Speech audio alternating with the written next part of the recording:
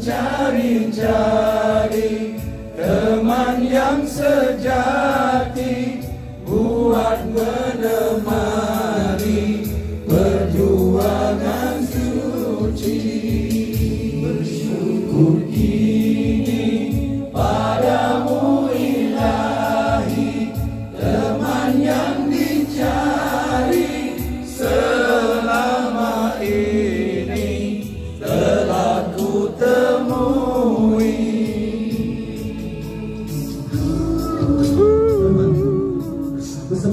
terbaikkan kesempatan ini dengan keimanan teruskanlah perjuangan perhubungan dan kesetiaan